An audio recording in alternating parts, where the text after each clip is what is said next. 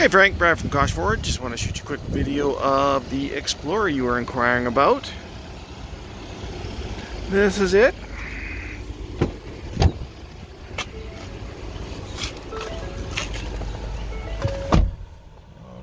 Just under 98,000.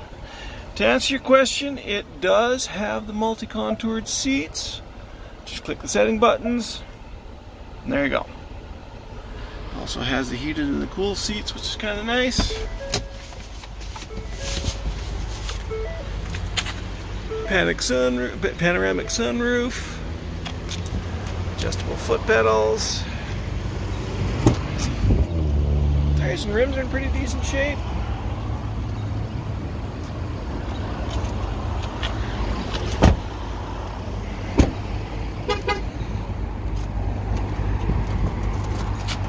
Power lift gate.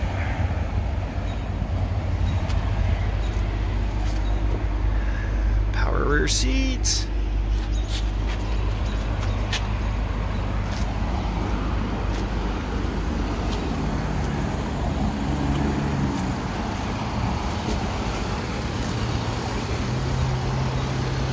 Front paint's in decent shape.